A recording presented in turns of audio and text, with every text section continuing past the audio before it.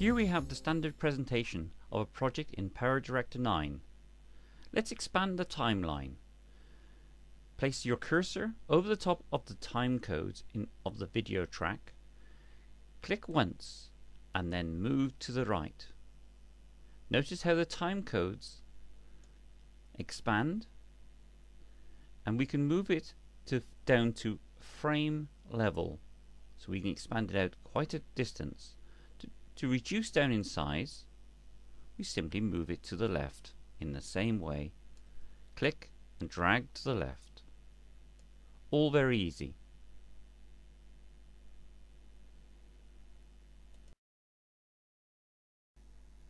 To expand the timeline, we have a tool on the bottom left hand side where you can zoom out and zoom in. Click the zoom in button and the ex expansion of the timeline takes place.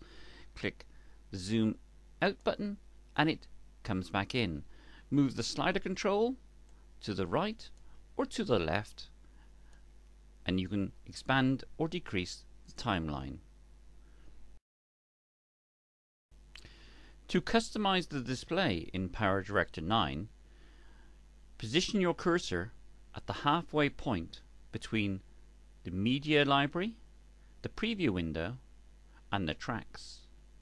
Over the four dots that appear there, and the icon changes. Click once and move up or move down. Let's reposition in an upward movement and in doing so we have expanded the timeline to make room for more tracks. We have also reduced the size of the preview window.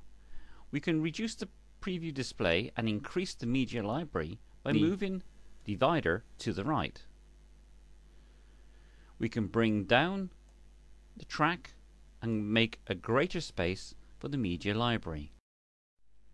Lowering the divider by simply click and pull it down.